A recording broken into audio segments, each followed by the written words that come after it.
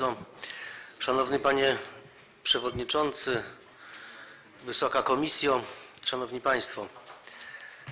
Przy najlepszej woli trudno ton wypowiedzi Pana Przewodniczącego Wójcika i treść tego, co powiedział, przyjąć i potraktować jako wyraz troski o bezpieczeństwo osób ochranianych w naszym państwie, a w tym przypadku o bezpieczeństwo najważniejszej osoby w państwie, czyli pana prezydenta Rzeczypospolitej. Pan poseł, pan przewodniczący wszystko już wie, e, wszystko e, osądził, wie za zespoły kontrolne lepiej od nich, wie lepiej niż prokuratura, wie lepiej niż Centralne Laboratorium Kryminalistyczne Komendy Głównej Policji.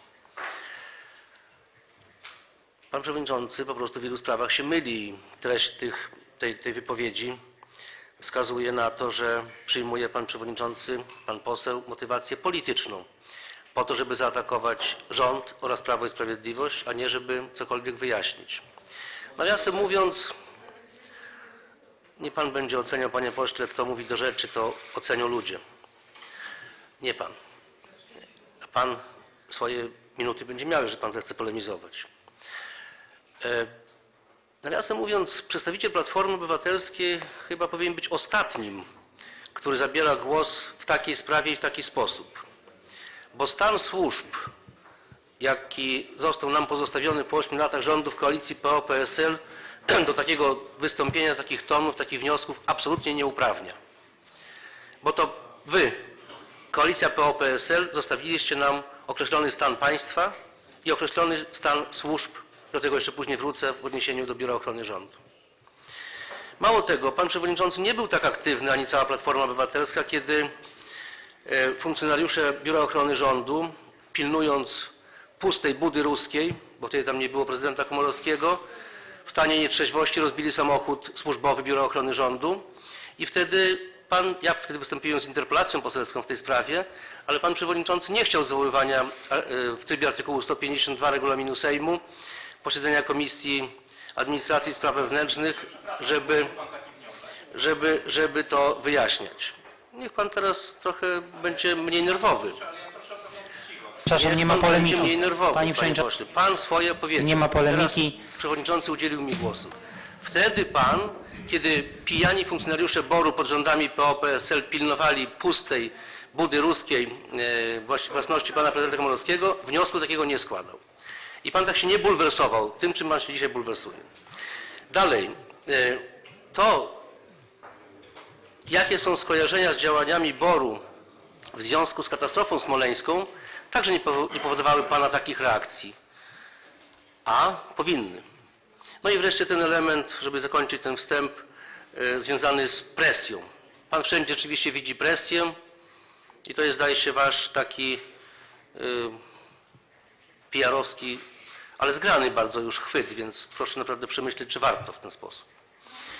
A teraz przechodzę do wyjaśnień, jaki jest stan rzeczy. E, Przypominając tylko na samym wstępie, że sprawa w pierwszej fazie w pierwszym etapie została zbadana przez zespół kontrolny powołany przez szefa Biura Ochrony Rządu. On przedstawił swoje wyniki, e, tenże zespół ustami szefów e, Biura Ochrony Rządu na konferencji prasowej. Tam zostało powiedziane to, co pan pułkownik i jego zastępca uznali, że może być z tego zastrzeżonego materiału przekazane opinii publicznej. Potem 18 marca pojawiła się publikacja w jednym z dzienników. My nie ukrywaliśmy i proszę tutaj nam z tego nie czynić zarzutów, że to właśnie w reakcji na tę publikację powołaliśmy zespół kontrolny e, Ministerstwa Spraw Wewnętrznych i Administracji. Zespół kontrolny, który działał e, w oparciu o przepisy i także wynikała jego, e, wynikało jego powołanie i jego zadania mu przypisane z nadzoru ministra spraw wewnętrznych i administracji nad Biurem Ochrony Rządu. My, w odróżnieniu od pańskich rządów ośmioletnich, nie uchylamy się od e, wykonywania swoich zadań. Przypominam, że kiedy przez media, opinię publiczną i opozycję w tamtym czasie 8 lat były pokazywane najróżniejsze patologie. Tu nie mówimy o patologiach. Ja o też pewnych nieprawidłowościach powiem oczywiście, ale a mówiliśmy o patologiach, to wtedy odpowiedź była na ogół kolejnych ministrów spraw wewnętrznych taka, że jeżeli coś jest nieprawidłowego, to niech tym się zajmuje prokuratura. Przypominam moje ówczesne słowa, pytania, to po co jest minister spraw wewnętrznych i administracji, po co jest konstytucyjny minister i cały jego urząd, jeżeli na wszystko ma reagować prokuratura. My od swoich obowiązków, panie pośle, się nie, się nie uchylamy i dlatego ten zespół kontrolny został 18 marca powołany.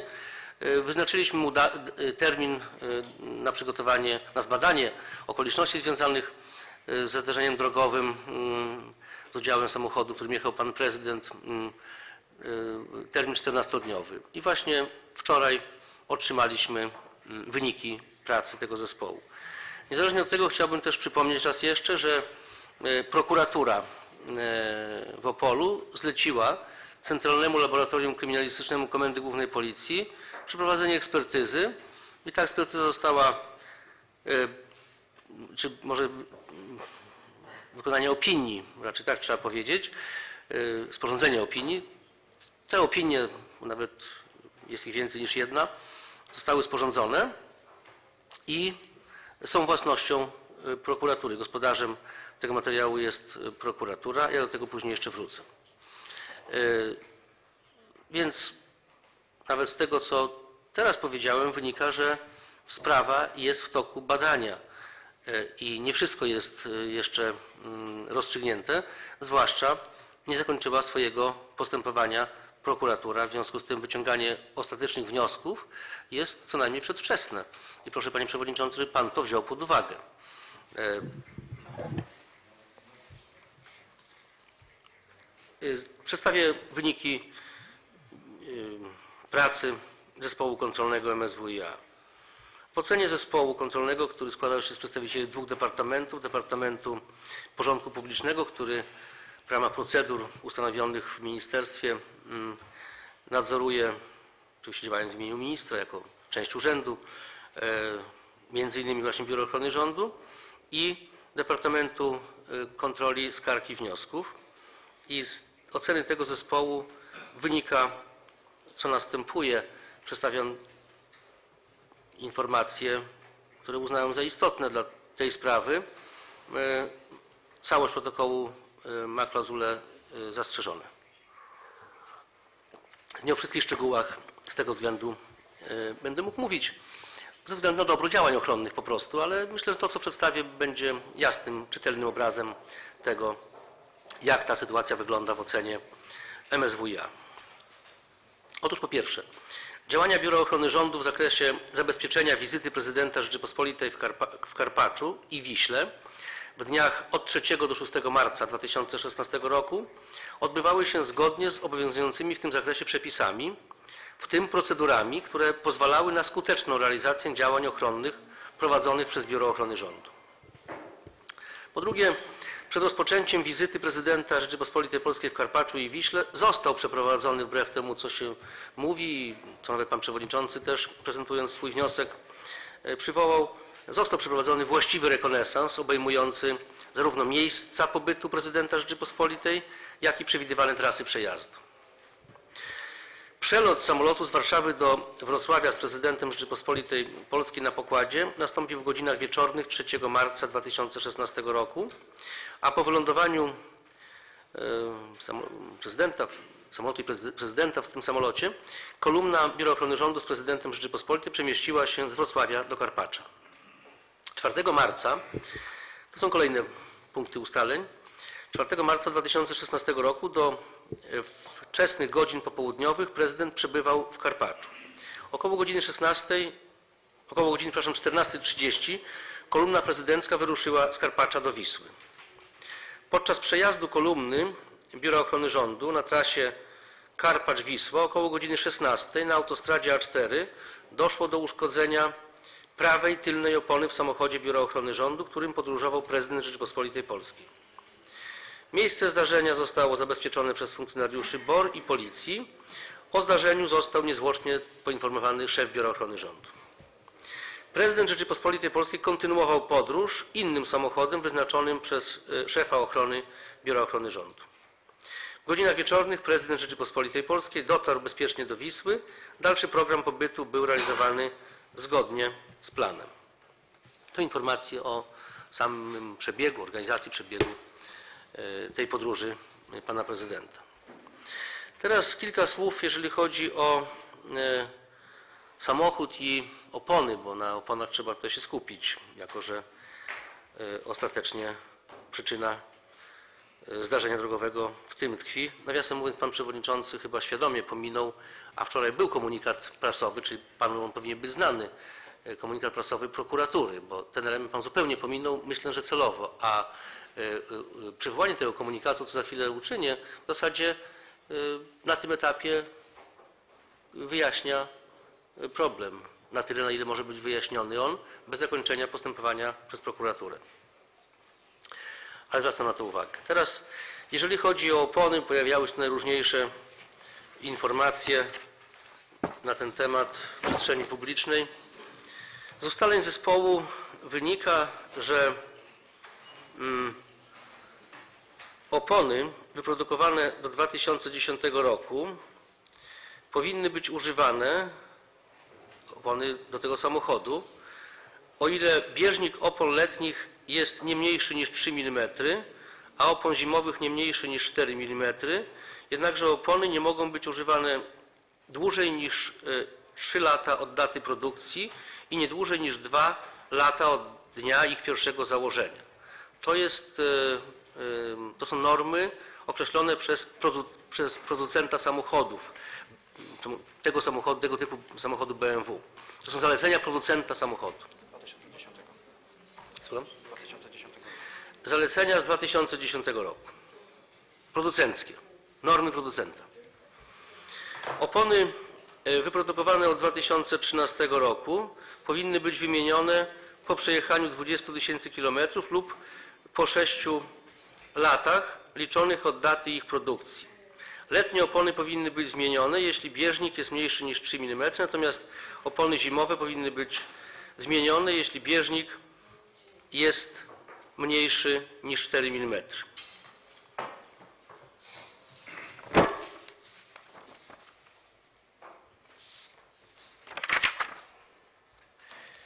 Normy użytkowania ogumienia dla pojazdów używanych w Biurze Ochrony Rządu do ochrony najważniejszych osób w państwie e, obowiązujące od maja 2009 roku, a więc od czasów, kiedy zostały decyzją szefa BOR-u zmienione. Przypominam, wtedy szefem BOR-u był generał Marian Janicki. Mm, Przepraszam, wtedy jeszcze nie generał. Generałem został w nagrodę za Smoleńsk. Do września 2013 roku dopuszczały przebieg 20 km lub okres eksploatacji 6 lat liczony od daty produkcji. Norma obowiązująca od, 2000, od września 2013 roku do marca 2016 roku dopuszczała przebieg 20 km lub okres eksploatacji co najmniej 4 lat. Po zdarzeniu decyzją obecnego szefa BOR-u wprowadzono normy, czy od marca 2016 roku, przebiegu w wysokości 10 tysięcy kilometrów lub dwóch lat liczonych od daty produkcji. Takie normy ustanowił teraz szef BOR-u po tym zdarzeniu. Po prostu je bardzo mocno zaostrzył. Wewnętrzna regulacja Biura Ochrony Rządu z 2009 roku nie była, jak, jak widać po tej informacji, którą przywołałem, dostosowana do zaleceń producenta pojazdów użytkowanych przez biuro. Natomiast zarządzenie obecnego szefa Biura Ochrony Rządu przewiduje dla opon do pojazdów specjalnych normy, które są bardziej restrykcyjne niż zalecenia producenta tych pojazdów. W pojeździe, którym podróżował prezydent 4 marca 2016 roku zostały założone opony wyprodukowane w 43 tygodniu 2010 roku. Przebieg oraz okres użytkowania tych opon był zgodny z obowiązującymi wówczas w Biurze Ochrony Rządu normami użytkowania ogumienia, ale zgodny z tymi rozszerzonymi norm- normami przez szefa Biura Ochrony Rządu, nie z normami y, producen- producenta. Biorąc pod uwagę zalecenia producenta w 2000, z 2010 roku, opony te powinny być wycofane z eksploatacji najpóźniej w 43 tygodniu 2013 roku. Więc jeśli by przestrzegano norm producenta, to od 2013 roku te opony nie powinny być użytkowane. Opona, która, którą wymieniono w y, BMW mm, w tym mm, samochodzie, którym jechał pan prezydent w lutym 2016 roku, nie była tą oponą, która uległa uszkodzeniu na autostradzie A4. To nie była ta opona, o której tyle mówiono. Ta opona została założona y, na przednie prawe koło, natomiast y, uszkodzeniu uległa opona prawa tylna. W lutym 2016 roku dokonano wymiany właśnie jednej opony w BMW, pomimo, i to jest kolejna sprawa istotna, że w Biurze Ochrony Rządu znajdował się komplet nowych opon, więc nieprawdą jest to, że ich nie było. Y, Została założona właśnie opona używana, uprzednio zakw- zakwalifikowana do wycofania. Ale to nie ona pękła, jeszcze raz powtarzam. To nie ona pękła.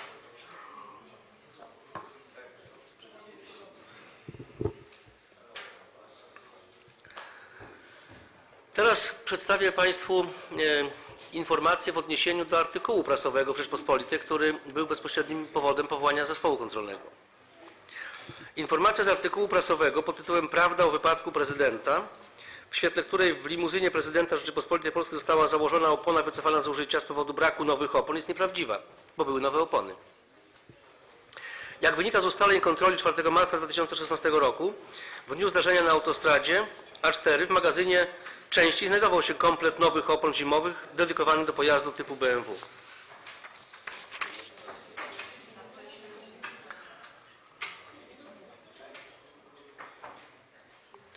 Informacja o uszkodzeniu 20 stycznia 2016 roku w Krakowie opony w samochodzie, którym podróżował prezydent Rzeczypospolitej Polskiej jest nieprawdziwa. To jest takie inne zdarzenie opisywane, które nie miało miejsca. W tym dniu prezydent Rzeczypospolitej Polskiej nie przebywał w Krakowie. Pani poseł czymś się martwi czy bulwersuje? Nie wiem, bo Bardzo proszę, proszę o, o, proszę Państwa o uwagę, proszę i, proszę później, proszę notować, bo to są i bardzo brak polemiki. fakty. Szanowni Państwo, Radzę, żeby pani zanotowała, żeby potem była dy- dyskusja rzeczowa. W tym dniu prezydent, powtórzę, e, Rzeczypospolitej Polskiej nie przebywał w Krakowie. Uszkodzenie opony w prezydenckiej limuzynie stwierdzono 22 grudnia 2015 roku. Uszkodzenie zostało zauważone w trakcie przygotowywania samochodu do jazdy. W związku z powyższym pojazd nie był wykorzystywany w tym dniu do zadań ochronnych. Kolejna sprawa. Stwierdzenie zawarte w artykule, że 15 lutego 2016 roku w Biurze Ochrony Rządu zapadła decyzja o założeniu opony wycofanej z eksploatacji i przeznaczonej do utylizacji, która następnie uległa uszkodzeniu 4 marca 2016 roku na autostradzie A4 jest w świetle tego, co powiedziałem, również nieprawdziwa. Wyniki kontroli pozwalają na stwierdzenie, że uszkodzeniu uległa inna opona niż ta, którą zamontowano w dniu 18 lutego 2016 roku. Jak mówiłem, pękła opona założona na prawy tył, zaś w tym dniu założono oponę na prawy przód. Informacja, że Kancelaria Prezydenta Rzeczypospolitej Polskiej w dniu wyjazdu zmieniła plan wizyty prezydenta z pierwotnie planowanego przelotu śmigłowcem z Warszawy do Karpacza na przelot samochodem do Wrocławia jest również nieprawdziwa. Jak ustalono już 26 lutego 2016 roku do Biura Ochrony Rządu wpłynął z Kancelarii Prezydenta Rzeczypospolitej Polskiej plan wizyty przewidujący przelot samolotu na trasie Warszawa-Wrocław. Od tego czasu nie modyfikowano planu wizyty w zakresie środków transportu. E, Co do tego wątku, e, czy samochód mógł podjechać e, pod stok narciarski, w świetle dokumentacji udostępnionej kontrolerom e, nie można stwierdzić, czy pojazd pod stok narciarski mógł mieć, czy podjazd e, tym samochodem mógł mieć jakiś wpływ na uszkodzenie opony, co sugerowano w artykule prasowym. Podobnie nie było możliwe ustalenie w toku kontroli, czy komputer pokładowy prezydenckiej limuzyny kilkakrotnie alarmował o problemie z ciśnieniem powietrza w oponie, a sygnały te były ignorowane rzekomo przez kierowcę, a także czy po spadku ciśnienia w oponie pojazd poruszał się z prędkością większą niż zalecana w takim przypadku przez producenta. Ustalenie tych okoliczności może nastąpić w toku postępowania prowadzonego przez prokuraturę okręgową w Opolu, czy przy wykorzystaniu opinii biegłych, w tym z Centralnego Laboratorium Kryminalistycznego Policji. Z komunikatu prasowego, i ten chcę moment bardzo mocno podkreślić, e, prokuratury okręgowej w Opolu z dnia wczorajszego 31 marca 2016 roku, opartego na opinii biegłych, wynika, że przyczyną zdarzenia drogowego było najechanie samochodu BMW 760 Li na leżący na jezdni przedmiot w wyniku czego doszło do przebicia opony prawego tylnego koła i spadku ciśnienia powietrza w oponie. Ja może Państwu część tego komunikatu, może nie wszyscy mieli okazję go czytać, przeczytam. Pani poseł wszystko wie, ale pozwoli Pani, że jednak odczytam. Yy, Cytuję. Komunikat w śledztwie w sprawie incydentu samochodu wiozącego pana prezydenta Rzeczypospolitej Polskiej. Yy, Podpisany przez panią Lidię Sieradzką, yy, w zastępcy, zastępcy Rzecznika Prokuratury Okręgowej w Opolu. Biegli w opiniach dają odpowiedź na wiele kwestii, ci biegli, które wspomniałem z Centralnego Laboratorium Kryminalistycznego, które dla prokuratury będą podstawą do dalszych czynności. W chwili obecnej prokurator ujawnia jedynie, iż biegli stwierdzili, że wypadek prezydenckiej limuzyny polegał na najechaniu samochodu BMW należący na jezdni przedmiot, w wyniku czego doszło do przebicia opony prawego tylnego koła i spadku ciśnienia powietrza w oponie. To skutkowało utratą skuteczności kierunkowej samochodu, zarzuceniem pojazdu i przemieszczeniem na prawe pobocze jezdni. Biegli stwierdzili, że e, stwierdzili we fragmencie czoła e, zniszczonej opony rozdzielenie materiału, które powstało w wyniku penetracji od zewnątrz do wnętrza opony płaskiego przedmiotu o nieregularnych krawędziach szerokości około 10 mm. Przebicie czoła opony w trakcie jazdy pojazdu doprowadziło do oddzielenia czoła bieżnika od opony i w efekcie do jej rozerwania. Wniknięcie przedmiotu według biegłych było przyczyną jej uszkodzenia, a zarazem przyczyną wypadku. Proszę Państwa, e, minister spraw wewnętrznych i administracji wystąpił do prokuratury o udostępnienie e, tych opinii Centralnego Laboratorium Kryminalistycznego i taka e, zgoda została na udostępnienie tego materiału wyrażona. E, Z dniem wczorajszym e, otrzymaliśmy do wglądu ten materiał, przy czym prokurator krajowy e, zastrzegł, że traktowanie, że, że należy traktować te dokumenty jako objęte tajemnicą postępowania przygotowawczego. W związku z tym nie mogę Państwu cytować e, tego materiału, bo muszę zastosować się do tego zastrzeżenia.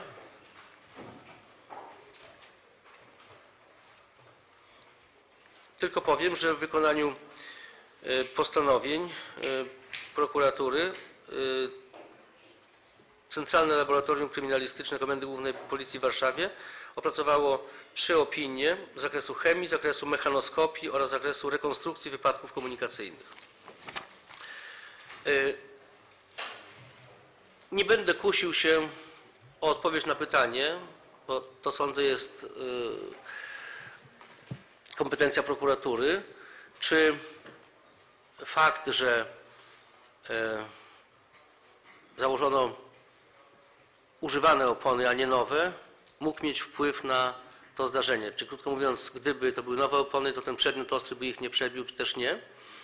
Z mojej własnej y, refleksji nad tym, ale powtarzam, to jest tylko mój pogląd, to nie jest poparte y, jakimiś szczegółowymi mm, ekspertyzami czy wiedzą fachową. Raczej nie.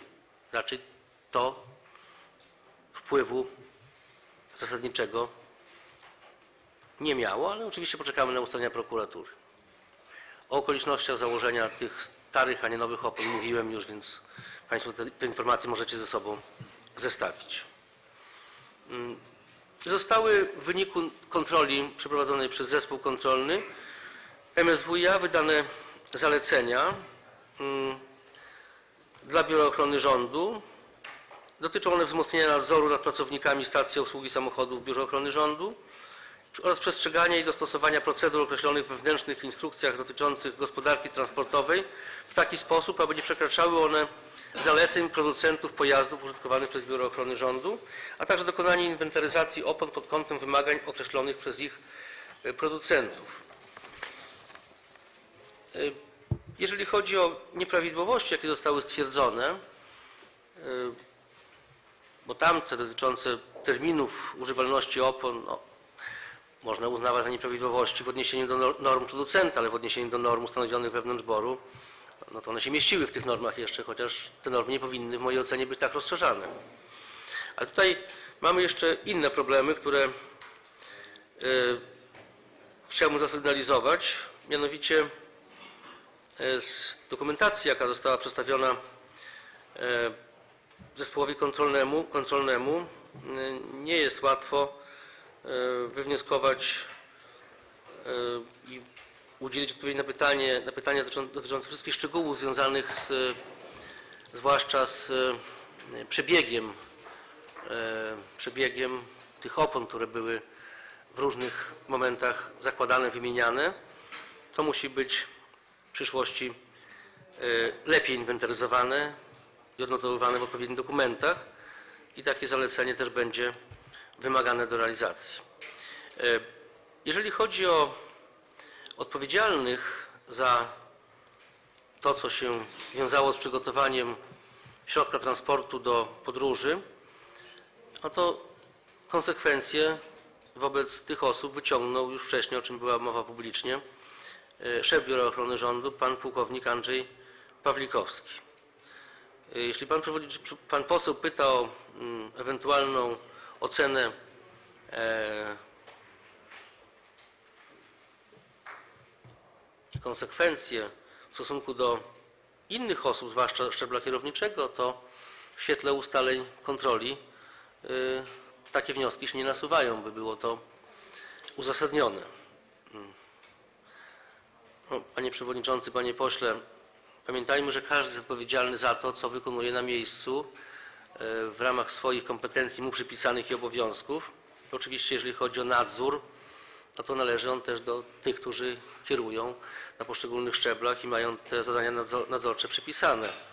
Ale e, tutaj ja nie dostrzegam e, bezpośredniej odpowiedzialności szefa Biura Ochrony Rządu za przygotowanie pojazdu do e, transportu osoby ochranianej, a ci, którzy za to byli odpowiedzialni, jak powiedziałem, już ponieśli e, konsekwencje. Na marginesie tego, o czym powiedziałem, chciałbym też dodać jeszcze, że w Biurze Ochrony Rządu nie następowały zmiany personalne poza kierownictwem od tamtych lat, kiedy dzisiejsi wnioskodawcy e, odpowiadali za funkcjonowanie Biura Ochrony Rządu i ochrony osób i obiektów ochra- ochranianych. To nie jest tak, że pułkownik Pawlikowski zatrudnił innych funkcjonariuszy, którzy teraz popełnili błędy, bo nie mieli doświadczenia. To są ci sami funkcjonariusze, którzy byli od dawna zatrudnieni w Biurze Ochrony Rządu. Warto też to wziąć pod uwagę. E, Nie chcę mówić o stanie, w jakim zastaliśmy poszczególne służby w ramach państwa teoretycznego poprzedniego okresu i w tym za stan Biura Ochrony Rządu. Powiem tylko tyle, że e, naprawiamy konsekwentnie to, co e, było nieprawidłowe bądź dotknięte słabościami i stan naszych służb jest i będzie coraz lepszy. To wymaga wysiłku, konsekwencji i czasu. Ale e, panie pośle, uderzyć się proszę w piersi własne, nie cudze. Mm, Sporo jest do zrobienia po waszych rządach. E, Czy można było zauważyć te błędne w stosunku do norm producenckich, normy związane z czasem używania opon? No, na to pytanie nie ma odpowiedzi. Sam się zastanawiałem nad tym, czy nowe kierownictwo jest w stanie wszystko od A do Z w tak krótkim czasie, kiedy funkcjonuje, sprawdzić, przejrzeć i ocenić. Pewnie jest to trudne, po ludzku i tak y, też służbowo na to patrząc. E, Skoro przez wiele lat, od 2010 roku m, te normy były stosowane i nikt ich nie kwestionował, no to mm, czy można uznać, że jakiś tu brak czujności wystąpił? Nie wydaje mi się. Po prostu e, wszystkie te sprawy będą po kolei teraz sprawdzane, ale wszystkiego w krótkim czasie zrobić się e, nie da. To tyle chyba, co chcę powiedzieć. Na pewno będziemy jeszcze za- zapewnić pana posła i wszystkich państwa, że będziemy robić wszystko, żeby nasze służby, w tym Biuro Ochrony Rządu, były coraz sprawniejsze i wykonywały w sposób jak najdoskonalszy swoje zadania. Natomiast e, w takiej dyskusji, która się pojawia i w pytaniu o to, czy ktoś zawinił, czy e, zdarzenie było wynikiem e, przyczyn obiektywnych, których nie można było przewidzieć, trzeba dużej ostrożności. Trzeba dużej ostrożności w ocenie, bo każdy może potem podlegać też najróżniejszym e, opiniom jeżeli formułuje zbyt jednostronny, stronniczy pogląd. Sprawy są poważne. Bezpieczeństwo osób ochranianych prezydenta Rzeczypospolitej w tym przypadku jest wartością e, wielką i musimy wszyscy zrobić wszystko, żeby je zapewnić. Zapewniam Państwa, że rząd, że nasz resort, kierownictwo BOR-u pod naszym nadzorem będzie robiło wszystko, żeby było w Polsce w tym zakresie, jak, za jaki odpowiada Biuro Ochrony Rządu, bezpiecznie. I też zapewniam, że e, wszystkie zadania, które są przed nami, to są zadania, zadania potężne, o wielkiej odpowiedzialności, zechcemy wykonać w ramach każdej swoich kompetencji jak najlepiej. Dziękuję bardzo. Dziękuję bardzo. Y, Szanowni Państwo, mm, pozwólcie Państwo, że 6-7 osób zgłosiło się do, do zadania pytań. Ja też bym chciał. Pod, państwo posłowie podchodzili do mnie i po prostu się zapisywali.